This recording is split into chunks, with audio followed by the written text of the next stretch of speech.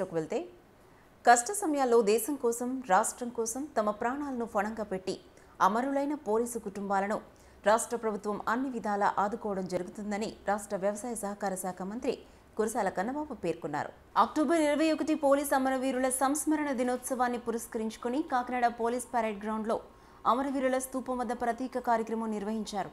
ముఖ్య అతిథిగా మంత్రి Kurasala Kannababu collector Srihari Harikiran SP M Ravindranath Babu parliament సభ్యులు పిల్లి సుభాష్ చంద్రబోస్ వంక గీతలు పాల్గొన్నారు.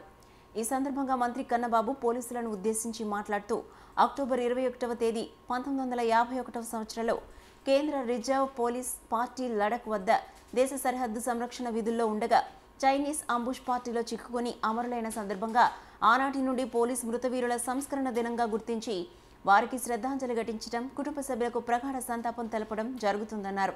తొలుతగా కమాండర్ ఎం నరసింహమూర్తి నేతృత్వంలో ప్రత్యేక పోలీస్ స్మృతి పరేడ్ను నిర్వహించారు. ముఖ్య అతిథిగా మంత్రి కన్నబాబు గౌరవ వందనం స్వీకరించి అమరవీరుల కుటుంబాలను ఉద్దేశించి మాట్లాడారు. తప్పకుండా ఈ కార్యక్రమానికి హాజరవుతున్నాం. ఎందుకంటే బోర్డర్లో సైనికులు ఎలాగో అంతర్గత భద్రత కోసం పోలీసులు కూడా అదేవిధంగా అహర్నిశలు ప్రాణాలకు తెగించి ఎన్నో ఒత్తిళ్ళకు గురై పనిచేస్తున్న విషయం మనందరికీ తెలుసు.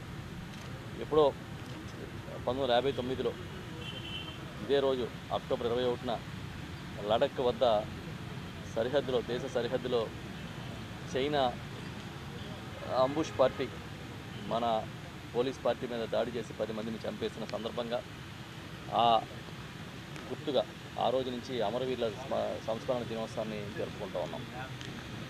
ఏటా చాలామంది ఈ అంతర్గత భద్రత బాధ్యతలు చూస్తూ ప్రాణాలు వదులుతున్న దురదృష్టకరమైన సంఘటనలు జరుగుతున్నాయి. ఈ ఏడాది రెండు వేల ఇరవై అక్టోబర్ ఒకటో తేదీ నుంచి చూసుకున్నప్పుడు రెండు వేల ఇరవై ఒకటి ఆగస్టు నెలాఖరు వరకు దేశవ్యాప్తంగా మూడు వందల డెబ్బై ఏడు మంది మన రాష్ట్రంలో పదకొండు మంది అసూలు పాశారు. వారందరికీ కూడా ప్రగాఢ సానుభూతి వారి కుటుంబ సభ్యులకు తెలియజేస్తూ ఉన్నాం. వారికి ఘనమైన నివాళులు అర్పిస్తున్నాం. ఈ సరిహద్దులోనే కాకుండా అంతర్గత భద్రత కోసం పనిచేసే క్రమంలో ఇటీవల కోవిడ్ మహమ్మారి బారిన పడి కూడా చాలామంది మరణించడం దురదృష్టం. వారి కుటుంబాలకు కూడా రాష్ట్ర ప్రభుత్వం తరఫున ప్రగాఢమైన సానుభూతి తెలియజేస్తా ఉన్నాం. ఇప్పుడే రాష్ట్ర ప్రభుత్వం కోవిడ్ కారణంగా విధి నిర్వహణలో చనిపోయిన పోలీస్ కుటుంబాలకి పది లక్షల రూపాయల ఆర్థిక సహాయాన్ని గౌరవ ముఖ్యమంత్రి జగన్మోహన్ రెడ్డి గారు మంజూరు చేసిన చెక్కుల్ని మేమందరం కూడా వారికి అందజేయడం జరిగింది. అంతేకాకుండా గతంలో నక్సల్స్లో నక్సల్స్తో జరిపిన పోరాటాల్లో మరణించిన వారి కుటుంబాలకు కూడా జిల్లా ఎస్పీ గారి ఆధ్వర్యంలో ఆర్థిక అనంతరం అక్కడే ఉన్న పోలీస్ స్థూపం వద్ద మంత్రి Kurasala Kannababu collector C Harikiran SP M Ravindranath Babu parliament సభ్యులు పిలి సుభాష్ చంద్రబోస్ వంక గీతలు రీతులు పెట్టి శ్రద్ధాంజలి ఘటించారు. ఈ సందర్భంగా అమరవీరుల ఆత్మశాంతి కలగాలని రెండు నిమిషాలను మౌనం పాటించారు. అనంతరం అమరులైన పోలీస్ కుటుంబాలకు మెమంటోలు అందించారు. ఇటీవల కోవిడ్తో మరణించిన పోలీస్ కుటుంబాలకు ఒక్కొక్కరికి పది లక్షల రూపాయల చొప్పున పదమూడు మందికి ఎక్స్ గ్రేషియా కింద చెక్కులను ముఖ్య అతిథులు అందించారు. జిల్లాలో మావోయిస్టుల అసాంఘిక ఘటనలలో అమరులైన పంతొమ్మిది మందికి ఒక్కొక్కరికి పదివేల చొప్పున నగదును అందించారు. పెరేడ్ నిర్వహించడంలో చక్కటి సంభాషణలతో ఆకట్టుకున్న వక్త ఎంకే మూర్తిని మెమెంటో ఇచ్చి ముఖ్య అతిథులు సత్కరించారు.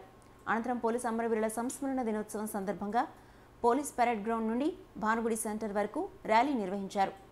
ఈ ర్యాలీని మంత్రి కన్నబాబు జెండా ఊపి ప్రారంభించి collector C. Harikiran SP M Ravindranath Babu parliament సభ్యులు పిల్లి సుభాష్ చంద్రబోస్ వంక పోలీస్ జవాన్లతో కలిసి అనుసరించారు. ఈ సందర్భంగా అమరవీరుల జోహార్లు చెబుతూ పెద్ద ఎత్తున నినాదాలు చేశారు.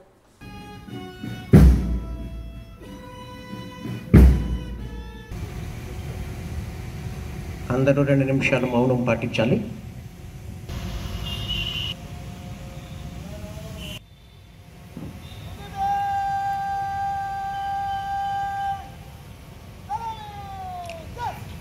Again.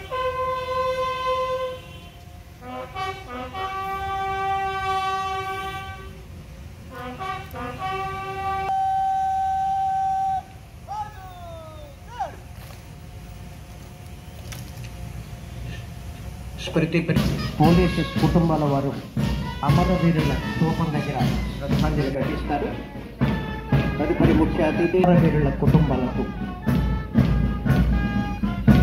శాఖలు మరియు పారితోషికుల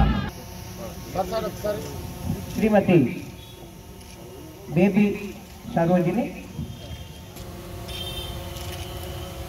చంద్రశేఖర్ కుటుంబాలు నెల్సన్ శ్రీమతి పాలెపు కుమారి